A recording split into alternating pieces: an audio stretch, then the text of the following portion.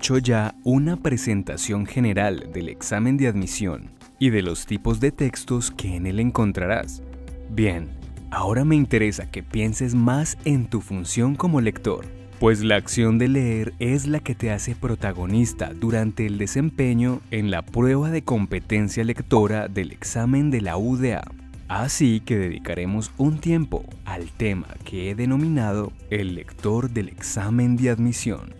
Si buscas el origen de la palabra leer, encontrarás que tiene relación con la tarea de escoger.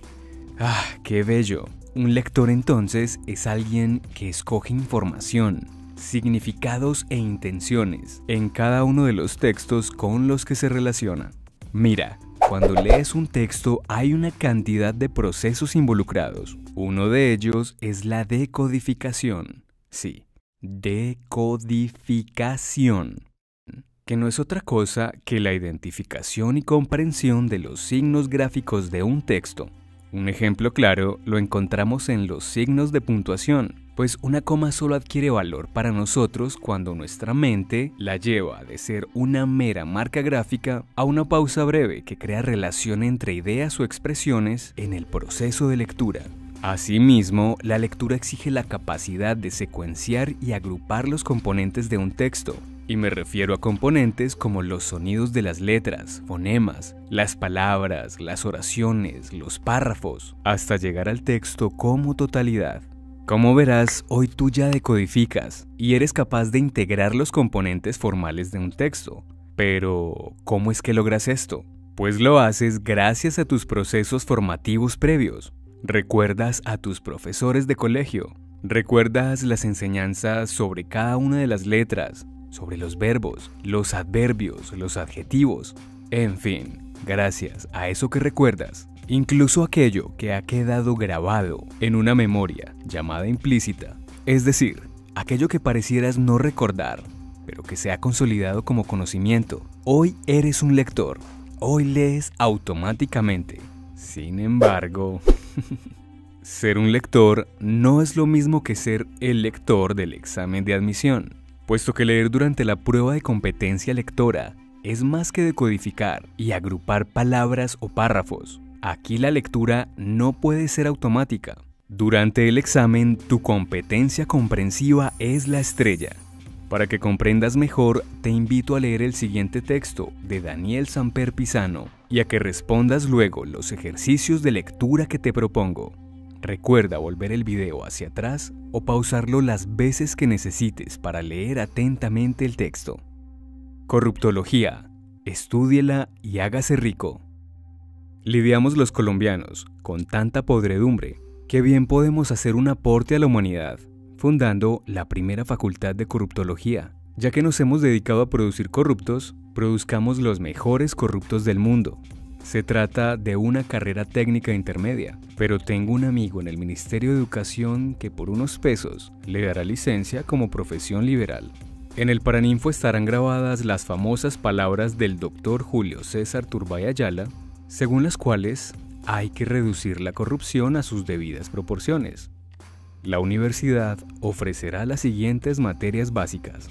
Filosofía de la corrupción, curso teórico sobre la corrupción pasiva y activa, para concluir que en Colombia superamos la etapa en que había que pagar para obtener privilegios ilícitos, y estamos en la que exige pagar para que se reconozcan los derechos legítimos.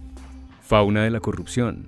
Destacados juristas, en libertad condicional, explicarán los grados de la corrupción, desde la indelicadeza hasta el gran escándalo, pasando por la pequeña trampa la movida chueca, la corruptela, el chanchullo, el negociado, el fraude electoral, la fortuna inexplicable, el latrocinio y el saqueo de bienes públicos.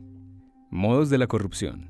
Indispensable curso que familiarizará al alumno con los medios de corrupción, la omisión, el abuso, la palanca sucia, el nepotismo, el nombramiento ilegal, la evasión de impuestos, la estafa de ahorradores, la licitación fragmentada, la recompensa chimba, el documento falso, la desaparición de pruebas, el soborno, la untada, la comisión, el ají, la mordida, el sobreprecio, la compra inexistente, la fuga con la plata, etc.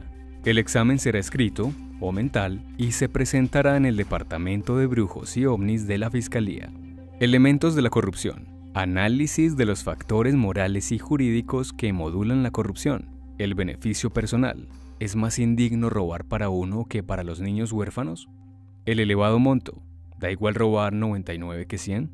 El autor poderoso. ¿Resulta peor un general que cobra por una licitación que un soldado que hurtó una huaca? La majestad sacrificada. ¿Es equiparable deshonrar al Congreso de la República que al CAI de la 26? El caso extravagante.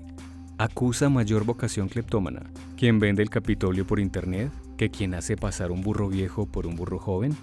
La corrupción del silencio curso nocturno que examinará cierta forma particular de corrupción, que es la complicidad con ella. Lecturas. Admiración del corrupto ingenioso. Mirar hacia otro lado. Saber y callar. Se aceptan matrículas anónimas y dinero en efectivo. ¿Cómo combatir la corrupción? Nota. No podrá ofrecerse esta materia por ahora, al carecer de textos y profesores calificados para dictarla. Las clases de la facultad estarán complementadas por seminarios prácticos y estudio de casos. El primero versará sobre el grado de corrupción que encierra burlar un decreto para traer a Bogotá por algunas semanas a dos diplomáticas provisionales de nuestra delegación en Londres y nombrarlas de nuevo tras la reelección del presidente. ¿Cuánto lo agrava el que la operación haya costado cerca de 150 millones de pesos a los colombianos? y que se trate de personas poderosas, la exesposa de un embajador y la hija de un precandidato presidencial. El rector de la Facultad de Corruptología será elegido con las papeletas del 19 de abril de 1970. Los estudiantes podrán comprar los temas del examen en el mercado negro del ICFES. Garantizarán que las tesis no son plagios del viceministro Guillermo Reyes y el contralor de Bogotá, Óscar González. Al alumno no se le expedirá recibo, pues no se declarará el IVA. El grado final lo entregará en solemne acto el Superintendente de Notariado y Registro.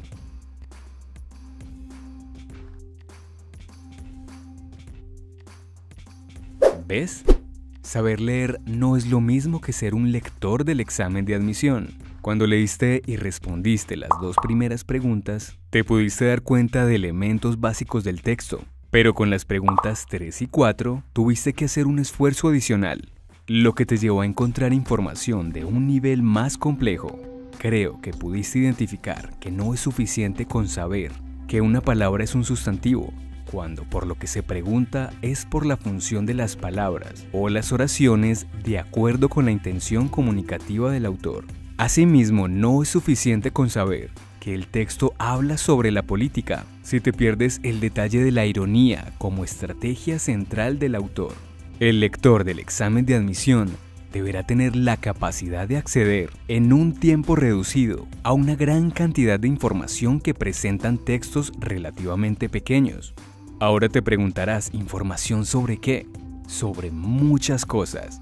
Los expertos del examen de admisión preguntan, por ejemplo, sobre la función de las palabras, sobre la intención con la que los autores usan algunas expresiones, sobre el tema central del texto o sobre el tema específico abordado en un párrafo, sobre la relación entre un párrafo y otro, entre muchos otros aspectos. Entonces, ante la gran pregunta de ¿qué se necesita para pasar a la UDA? Podemos responder que se necesita pasar de una lectura automática a una lectura rica en detalles. Aquí entre nos, justamente, los detalles son los que más llaman la atención de los expertos del examen de admisión. Y recuerden, el saber está en la interpretación. Interpretar es sentir y pensar.